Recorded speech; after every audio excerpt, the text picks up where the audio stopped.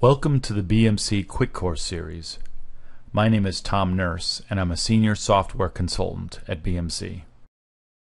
In this course, I will demonstrate the many advantages of automating the z/OS shutdown and IPL process by using MainView Console Management, or MVCM.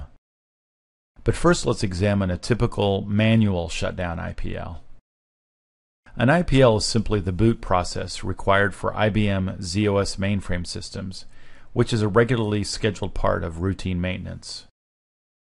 Manual IPLs are typically performed on a regular basis, issued one at a time, require operators to search console output for messages which require the appropriate response, set up by a system programmer but issued by an operator, and are often at night, on weekends, or during otherwise off hours periods.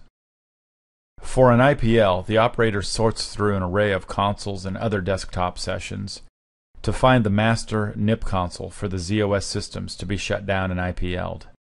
This particular system employs AO-TOM, which is used to manage the shutdown process, stopping all the started tasks, shutting down VTAM and JES2, etc. This process can take 5 to 10, even 30 minutes, depending on the number of online systems running and other factors. When complete, z/OS issues a message, MyTom Automated Shutdown Complete. When the operator notices this message, he issues the Z EOD command to close the log files. This process of waiting for and noticing key events and responding with the appropriate command continues. Next, the operator moves to the HMC console, either to the monitor attached to an HMC or via remote access from a web browser. From the HMC home page, he selects Log On and launch the Hardware Management Console web application, which then opens a new page. He enters his own, or maybe a shared, user ID and password. From the next panel, he needs to drill down to the LPAR to be IPL'd. He selects the groups icon, then double clicks. At this point, many screens are traversed and commands entered via the HMC. Once the operator is finished with the HMC, he again returns to the console to monitor the NIP and IPL messages.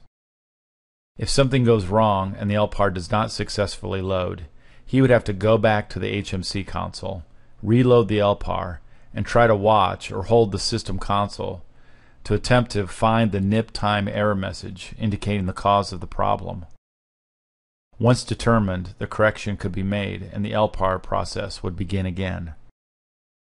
In summary, the operator is required to wait for and notice actionable events and respond with the appropriate commands to successfully complete the shutdown IPL process.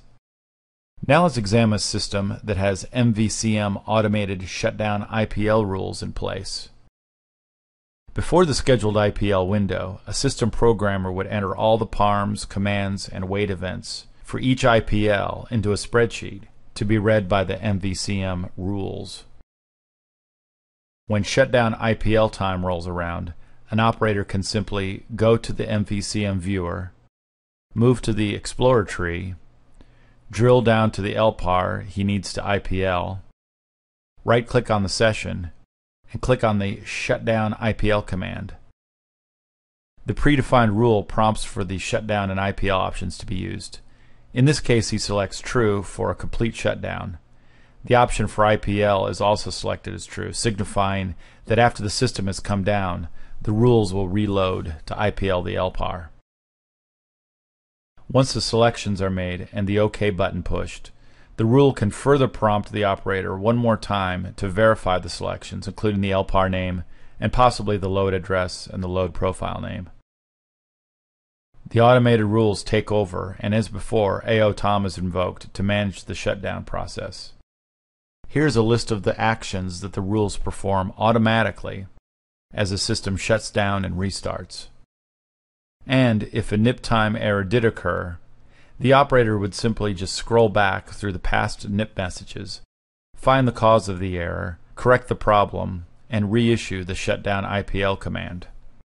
In addition, this shutdown IPL process could have been scheduled, eliminating the need for operator initiation. In that case, multiple IPLs could be scheduled simultaneously. In summary, MVCM can automate IPLs which increase productivity, enhance availability, mitigate risk, and increase performance. For more information about automating shutdown IPLs, as well as other capabilities of MainView console management, please visit www.bmc.com slash support slash product documentation. Thank you for joining me.